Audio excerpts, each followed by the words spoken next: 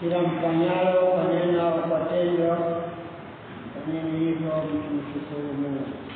Ndugu zangu wapendwa katika Kristo, leo ni sikukuu ya pekee kwetu yenye shukrani kwa Mwenyezi Mungu kwa majaliwa yake ambayo tunaishuhudia katika siku hii ya pekee.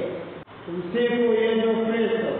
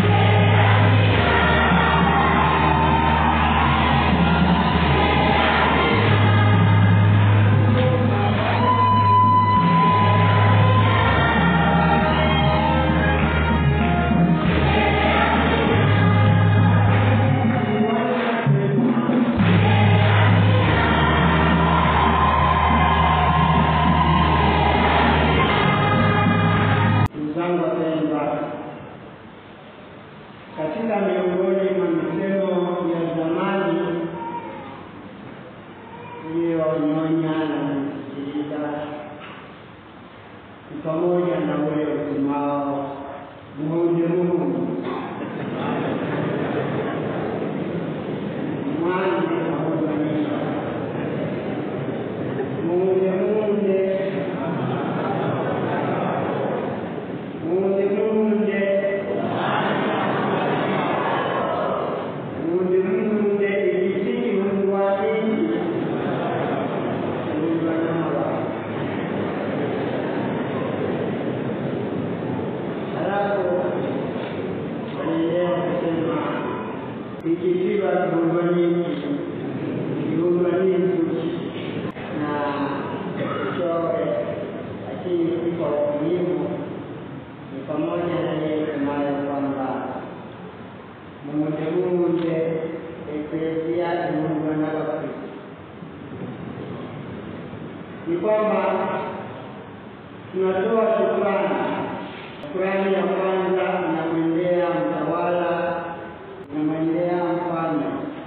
Shukrani ya pili tunapoona jinsi mti umesheheni matawi pamoja na majani yake, napo tunafurahi kujua kwamba neema iko karibu nasi.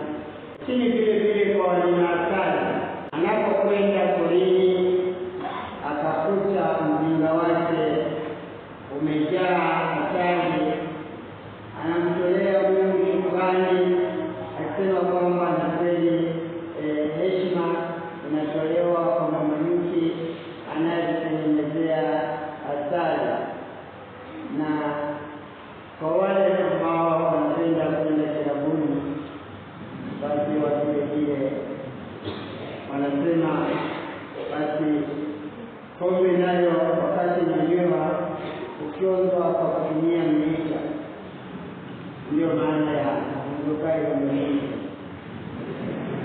lakini vile vile kwamba baada ya kuwa tumepata imani imani katika kanisa ambayo inajulikana kama eklesia hizi hizo sisi tukiwa tunakuwa basi najua kwamba eh, eklesia haiwezi kuwepo bila kuwa na waumini bila kuwa na wakristo. Kwa sababu hao ndio wanayo wanaokuza kanisa wanaolijenga kanisa. Tangu siku hii ya leo ni ya furaha, ya furaha kwa kila mmoja wetu aliyepata nafasi ya kuja na kushuhudia haya yaliyo mbele yetu, na furaha yetu ni kutokana na uwepo kati yetu wa maisha Askofu Christopher Ndize Ndizwe Agostino Mkoronko ambaye alizaliwa Ujiji hili, amekulia hapo Kalinzi walikuwa ni washika imani. Washika imani baba yake alikuwa ni katekista pamoja na mambo mengine yote, na wao walichukua jukumu na dhamana ya kumlea mtoto wao, si katika makuzi ya kawaida, lakini vile vile katika makuzi ya imani kama tulivyosikia katika kitabu cha Yoshua Biblia sura hiyo ya hamsini, wakamwelimisha katika mambo ya kiroho na hatimaye baada ya ilivyokuwa akang'amua na kuona kwamba ni vyema afuate njia hiyo. Ya kuwa mwenyezi wa imani, imani yetu ya Kikristo kwa watu wengine, na kwa sababu hekima ya Mungu hatujui inavyokwenda, taratibu itajifunua katika nafsi ya huyu ambaye leo hii tunamshangilia kama mwacha maaskofu wa jimbo la Kahama, na hatimaye kama tungefikia tarehe ya ishirini na tatu mwezi wa sita mwaka jana akawa ameteuliwa kuwa askofu wa jimbo la Kahama, na tarehe ya nne mwezi Septemba mwaka huo huo akawa amepewa daraja hilo la uaskofu na kusimikwa rasmi katika jimbo la Kahama. Kwa hivi huyu ambaye ni mwanetu, huyu ambaye ni ndugu yetu, huyu ambaye ni rafiki yetu, ni baba yetu, leo leo nimesikia katika nafsi hiyo akiwa tayari ni askofu wa jimbo la Kahama. Kwa hivi amepata alipata baraka, pata neema, na neema hizo ndizo ambazo leo hii anakuja kutushirikisha. Ndio maana anapoadhimisha misa hii ni ya shukrani, shukrani kwa Mwenyezi Mungu, lakini vile vile shukrani kwa wale wote waliomsikia, akianza na wazazi wake ambao tumetangulia katika uzima wa kimungu. Na hivi katika ibada ya leo tabidi tuwakumbuke kipekee, na tunaona na tunatambua kwamba yote yalitokea kwa sababu ni maongozi ya Mwenyezi Mungu, na yeye Mungu akamjalia bila shaka apate katange katika kuishi na kuenenda kwake, na ndio maana akutangaza hivyo, na bila ajizi alitembea katika imani ambayo alishirikishwa na wazazi wake na hatimaye na walezi wengine ambao walijikita mikononi mwao. Ameishi na anaendelea kuishi na kuirithisha kwa watu wengine imani hiyo inayotawaliwa na matumaini yasiyotetereka pamoja na mapendo yasiyojitafuta yenyewe, na ndiyo maana napenda kumpongeza yeye mwenyewe pamoja na kwamba anamshukuru Mwenyezi Mungu kwa uzingatifu huo ambao alionyesha, na bila shaka akitukumbusha yale ambayo tunasikia katika waraka. Kwa Waebrania sura ya kumi na tatu mstari wa saba mpaka wa nane. Wakumbuke wale waliokuwa wakumbukeni wale waliokuwa wakiwaongoza waliowaambia neno la Mungu, tena kwa kuchunguza sana mwisho wao, basi muwe tayari kushika imani yao. Na hivi Hiki ndicho ambacho ametudhihirisha katika makundi yake na hatimaye katika maamuzi yaliyopelekea kuwa hivi alivyo, na sasa mrumi na karama zake kile ambacho kinapaswa kuthibitisha sisi sote kwamba Yesu Kristo ni yeye yule jana na leo na hata milele. Ndiyo kazi ambayo kanisa limempatia aweze kutangaza si tu kwa wanafahamu, lakini hata kwa Yesu. Tunaungana naye katika kumshukuru Mwenyezi Mungu, tunaungana naye katika kemea yale ambayo yanakwenda kinyume, yale ambayo ni upotoshi, yale ambayo yanaelekea kujifanya tuwe wapendeuku, na yale tunayopaswa kusadiki na kuamini na kushirikishana, na ndicho ambacho tunapenda kukumbushana kwa sababu siku hizi mafundisho potoshi ni mengi sana, na ni mengi ambayo si tu yanawakumba watu fulani fulani, lakini yanavuruga familia mbalimbali, yanavuruga maisha ya watu kadha wa kadha, na hata pengine wale ambao wangekuongoza katika njia iliyo sahihi. Na hivi ni nyakati ambazo ni za majaribu makubwa, na tunapaswa sisi sote kwa uangalifu na uangalifu wa yale ambayo tumeyapokea, tunayaamini na tunapaswa kuyazingatia. Mtangulizi wetu katika jimbo hili alikuwa Askofu Yohane Samuel. Ambaye tarehe ya saba mwezi wa tatu mwaka elfu moja mia tisa thelathini na saba alipata daraja la uaskofu katika seminari yetu ya Uzinzi,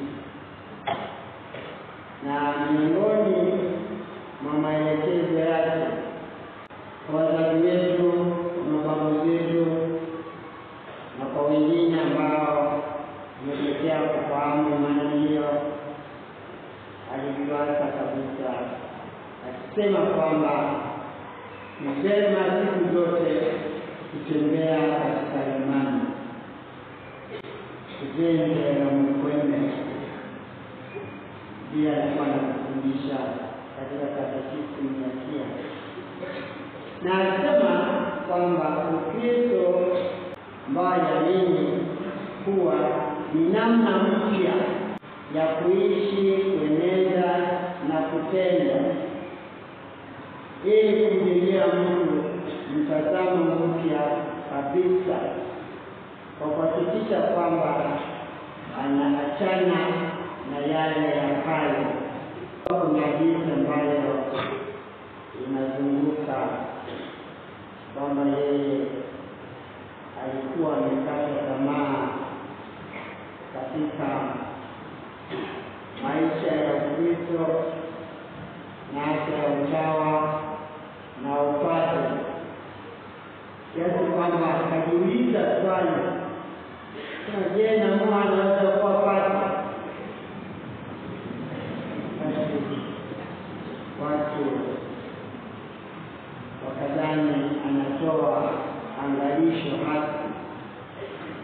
lakini alisema ndio, mua naye anaweza kuwa padre, alimradi tu awe tayari kujifunza kufuata malezi kwa miaka mingi, lakini si kwamba swali hili aliulizwa kwa wapi. Kwa hiyo ilikuwa ni mafundisho ambayo yalikuwa yanatolewa kuhakikisha wanaimarisha na tuseme kwamba maisha yale wapate wenye mchezo wa kuigiza. Lazima kuwe na ubunifu katika hali hiyo ambayo watu walikuwa wameingia. Leo hii nimejiuliza hapa kuwa katika mkoa wetu wa Kigoma, je, naamua naweza kuwafuata?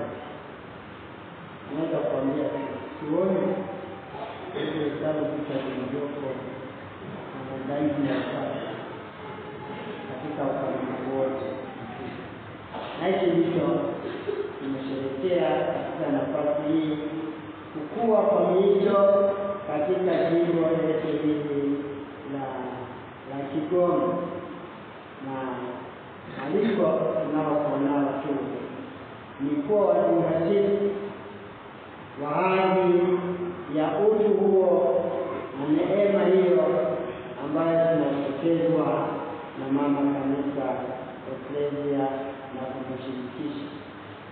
Na alikuwa na na jinaulizo jingine aliyokuwa nalo, alisema kwamba katika kuishi na kueneza kwetu hapa duniani sio alimradi uweze kuishi tu. Na hatimaye kusubiria kufa. Hapana, lakini ni kuhakikisha kwamba unaenenda kwa kuzingatia hadhi ya utu wa mtu na kujiandaa kwa yajayo, mbali pamoja kwamba siku moja tutakufa, lakini tunakufa katika hali gani? Lazima uwe katika hali ya imani na matumaini na mapendo ambayo itaenda kukufundisha katika kuendelea kuishi katika ulimwengu huu na hivi tunavyoenenda katika kila hali yote ya maisha, inafaa kujiuliza, wewe unataka kuwa mtu wa namna gani? Ukijenga familia iwe familia ya namna gani? Ikiwa mtawa wa padre uwe mtawa wa padre wa namna gani? Hiyo ndio inayopaswa kujulisha kila mmoja wetu, na hivi yeye pamoja na kwamba alipokufa tarehe ishirini na tano mwezi Disemba elfu moja mia tisa sitini na sita na amezikwa pale Kabanga, hakuwa anafanikiwa kuona muda anakuwa kwake. Hivi sasa anapokuchungulia sana hii akiwa huko juu, bila shaka naona kwamba hakufanya kazi ya bure, na yeye alikuwa na kauli mbiu isemayo kwamba alikuwa askofu aweze kusaidia kuinua maisha ya maskini kiroho na vile. Ndio maana ndugu zangu, tunapomshukuru Mwenyezi Mungu kwa zawadi na maasham kwa Mzee, tunapenda kualikana na kumalika kila mmoja wetu kujitazama tena upya na kuangalia anajibu mwaliko wa Kristo Yesu wanaotupatia au hapana. Anatambua na kuzingatia kwamba Kristo Yesu ndiye Bwana wa uzima, Bwana wa wafu na walio hai au walio hai na. Yesu Kristo anayejua kuamka kwetu na kuenenda kwetu ambaye anajua hata kesho yetu ni ya namna gani. Katika mpendo wetu Christopher katika yake,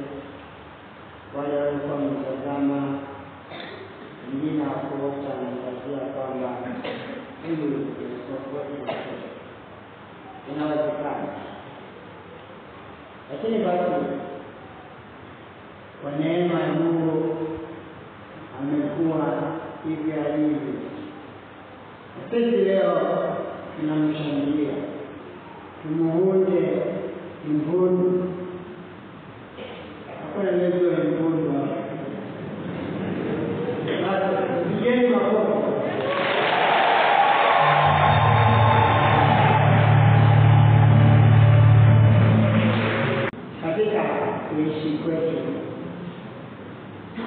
na maisha ya mwanadamu ni matukio, natokea kwamba ndipo inapogundua na kuona matukio yale ni ya namna gani, yanaeleza nini, yanaashiria kitu gani. Wengine wanasema kwamba ndivyo historia inavyojengwa, na mtu ajengi historia, anajengewa historia kutokana na matukio ambayo yanapata au yanamtisha. Na hasi na hivi tunaweza kuimba hata kale wimbo kama tuna Bwana ametendea mambo makuu. Hivyo